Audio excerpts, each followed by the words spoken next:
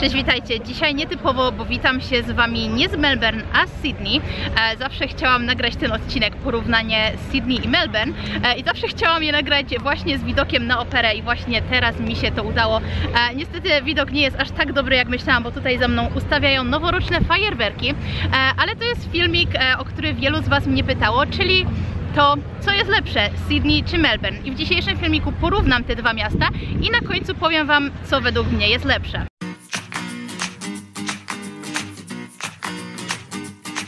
Więc może to, co dla wielu osób jest najważniejsze, jak myślą o Australii, czyli pogoda i klimat. Tutaj definitywnie punkty idą dla Sydney.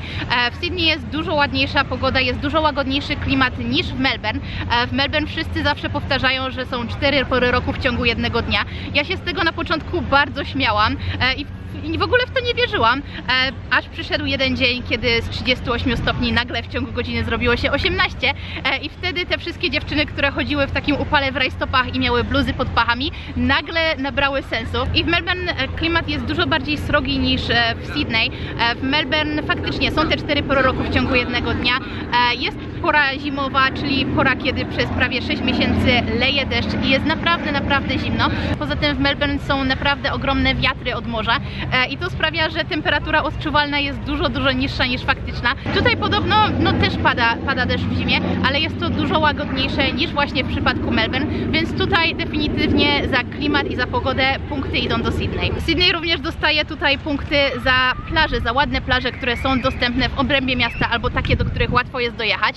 E, w Melbourne plaże miejskie w stylu St Kilda, czy Port Melbourne, czy South Melbourne e, niestety nie są ładne, są brzydkie, brudne, e, no, są blisko centrum, to fakt, ale no niestety bardzo dużo im brakuje do tych plaż, które są dostępne tutaj w Sydney, więc tutaj również Sydney jest zwycięzcą. Inną rzeczą, która zawsze wszystkich interesuje są wszelkiego rodzaju robaki, insekty, węże i wszystko, co niby mieszka w Australii. Jak mnie oglądacie od dawna, to wiecie, że to jest taka bardzo, bardzo półprawda. I tak jak wspominałam, Sydney ma dużo łagodniejszy, dużo cieplejszy klimat niż Melbourne, a co za tym idzie, jest tutaj dużo większa populacja wszelkiego rodzaju owadów, insektów, a szczególnie mówię tutaj o karaluchach. W ogóle w całej Australii karaluchy występują. Ja pierwszego karalucha w życiu zobaczyłam właśnie po przeprowadzeniu się do Australii e, i karaluchy po prostu trzeba się do nich przyzwyczaić, obojętne czy będziecie mieszkali w brudnej norze, czy będziecie mieli najczystsze mieszkanie na świecie. E, mogę się założyć, że w swoim mieszkaniu znajdziecie od czasu do czasu karalucha.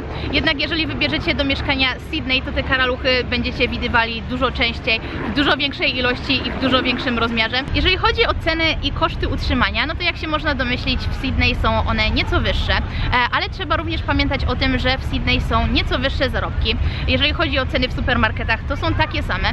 Jednak Sydney ma dużo tańszą benzynę. My właśnie przyjechaliśmy samochodem z Melbourne do Sydney e, i okazało się, że e, paliwo w Melbourne kosztuje mniej więcej 10 centów więcej niż paliwo w Sydney, więc tutaj Sydney naprawdę ma plus, jestem zaskoczona, ale ogólnie patrząc na wydatki i koszty życia w porównaniu do zarobków, to Melbourne i Sydney są na bardzo podobnym poziomie i praktycznie takie same pieniądze oszczędzi się mieszkając w Melbourne jak w Sydney. Powiem Wam jeszcze nieco o transporcie publicznym, ponieważ ja się tutaj właśnie pod operę przedostałam e, przy pomocy sydneyskiego metra i naprawdę jestem w szoku, bo nie spodziewałam się tego, że tak wielka metropolia jak Sydney może mieć tak okropny transport publiczny. E, wydawało mi się, że w Melbourne jest słaby transport publiczny, ponieważ w Melbourne cały czas zamykane są jakieś linie, e, są wysyłane autobusy zamiast metra, ale to, co tutaj zastałam w Sydney, to przechodzi ludzkie pojęcie. E, stałam na peronie przez półtorej godziny czekając na pociąg, ponieważ połowę pociągów odwołali, połowa była spóźniona,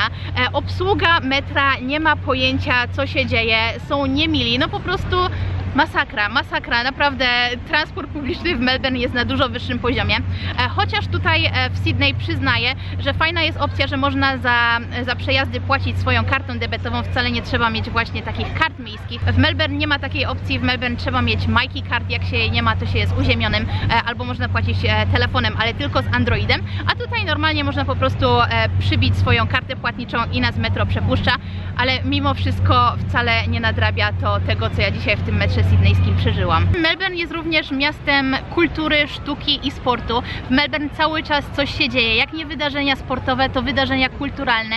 Cały czas są jakieś fajne wystawy w muzeach, e, festiwale. Po prostu w weekend można przebierać w propozycjach tego, co by, e, co by tam nie robić. A tutaj w Sydney, no niestety aż tak dużej oferty nie ma, więc jeżeli e, szukacie właśnie wydarzeń kulturalnych, takiego miejsca, gdzie można coś robić, patrzcie, to są bean chickeny tutaj. To są ibisy zwane w Australii bean chickenami, bo one wybierają śmieci z, ze śmietników. Więc pod tym kątem Melbourne, mimo że Sydney ma swoją słynną operę, jest dużo lepsze. Melbourne ma mnóstwo teatrów, mnóstwo koncertów, większość właśnie wydarzeń kulturalnych i sportowych w Australii dzieje się w Melbourne, więc jeżeli to jest wasza działka, to definitywnie Melbourne tutaj wygrywa. Przed chwilą właśnie wspominałam o tych ludziach z metra, więc może na ludziach się skupię. A więc e, porównując e, Sydneyczyków i Melbourne mieszkańców Sydney i mieszkańców Melbourne, to mieszkańcy Melbourne naprawdę wypadają tutaj dużo lepiej, są dużo milsi, dużo bardziej wychillowani. Tutaj w Sydney czuć, że jest to miasto biznesu, wszyscy e, gdzieś pędzą, nie mają czasu e, i no cóż, są niemili. Naprawdę, jeżeli chcecie spotkać niemiłych Australijczyków, obojętne czy to w usługach, e, czy w jakiejkolwiek innej sytuacji życiowej, przyjeźdźcie do Sydney. Bardzo wiele osób, które porównuje Sydney i Melbourne, porównuje je również do Los Angeles i Nowego Jorku. E, Tutaj Sydney ma być odpowiednikiem e, Los Angeles, a Melbourne jest odpowiednikiem Nowego Jorku. Taką rzeczą, która może się wydawać dziwna do porównania jest układ ulic i to jak łatwo się przemieszcza po mieście. Tutaj definitywnie punkty idą do Melbourne, ponieważ w Melbourne e, ulice są do siebie ułożone prostopadle, one są na takiej kratce, na takiej siatce szachownicy, że wszystkie ulice przecinają się do siebie prostopadle, są takie bloki właśnie, podobne jak w Nowym Jorku. W Sydney ulice idą jak chcą, jak chcą, przecinają się pod dziwnymi kątami, więc nawigacja po Sydney jest dużo trudniejsza niż po Melbourne, więc tutaj jeżeli ktoś nie chce się zgubić, definitywnie lepiej wybrać Melbourne. I ostatnia kwestią jest bezpieczeństwo. Według statystyk Sydney jest nieco bardziej bezpieczne niż, Me niż Melbourne. Melbourne ostatnio boryka się niestety z plagą różnych gangów. Jest również plaga narkomanów, jest mnóstwo osób bezdomnych na ulicach Melbourne. W Sydney aż tak tego nie widać. I teraz najważniejsze pytanie tego odcinka. Co jest lepsze, Melbourne czy Sydney? Porównywanie Sydney i Melbourne jest jak porównywanie Krakowa i Warszawy, czy Los Angeles i Nowego Jorku. Tutaj nigdy nie można dojść do żadnego konstruktywnego wniosku, bo każda ze stron ma rację i swojej racji nigdy nie zmieni. Jeżeli o mnie chodzi, to według mnie Melbourne do życia jest dużo lepsze, e, jest dużo spokojniejsze i ja również bardzo lubię wydarzenia kulturalne, więc pod tym względem Melbourne również bardzo mi pasuje. Ale jeżeli przyjeżdżałabym do Australii czysto turystycznie na wakacje, to zdecydowanie wybrałabym Sydney, e, no bo tutaj są te jakby najważniejsze australijskie rzeczy do zobaczenia. Jest opera, jest most e, i po prostu Sydney trzeba zobaczyć. Sydney ma swój niepowtarzalny klimat. Poza tym Sydney jest dużo lepszą bazą wypadową do wszystkich innych miejsc w Australii niż Melbourne, ale jeżeli chodzi o mieszkanie, to tutaj zdecydowanie wybrałabym Melbourne. No dobrze, więc to już chyba wszystko na dzisiaj. Mam nadzieję, że Wam się ten odcinek podobał. Jeżeli tak, to pamiętajcie o łapkach w górę, o komentarzach. Jeżeli jeszcze nie subskrybujecie kanału, to pamiętajcie o przyciśnięciu przycisku subskrypcji oraz włączeniu dzwoneczka, a my widzimy się w przyszłym tygodniu. Do zobaczenia. Cześć!